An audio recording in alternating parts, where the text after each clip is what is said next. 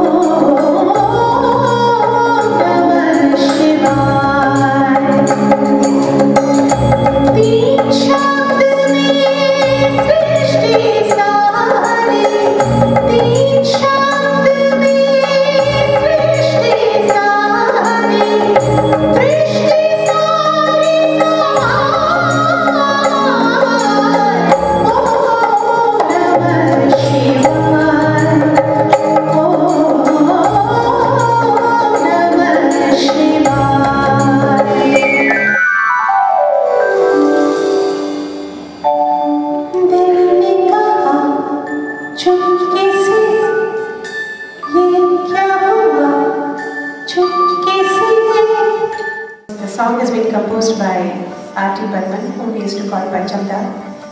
Not only was one of the greatest uh, composers in the film industry, but he was really, really one of the nicest, the most generous-hearted, and the most affectionate person all of us have ever had an opportunity to work with.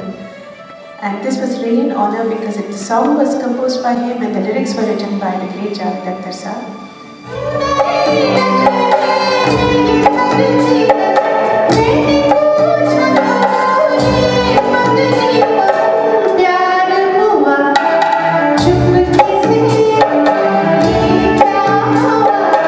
sir.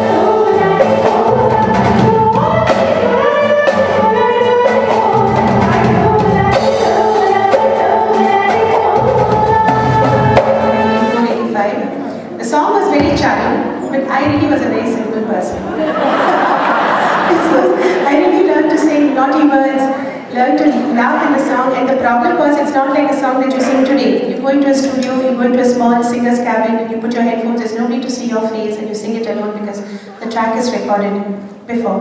Those days we had to sing with musicians, and this particular song we had 100 musicians. So this Mehboob studio would have a big hall and I would have to sit, stand right in the middle to rehearse with the musicians. And when I rehearse, I have 100 people staring at me, watching my face. And I was a new singer. So you can imagine I was all nervous and I had to sing all these nonsensical words. but I must say, thanks to the support of people like you who took my song well, I think I passed my exams.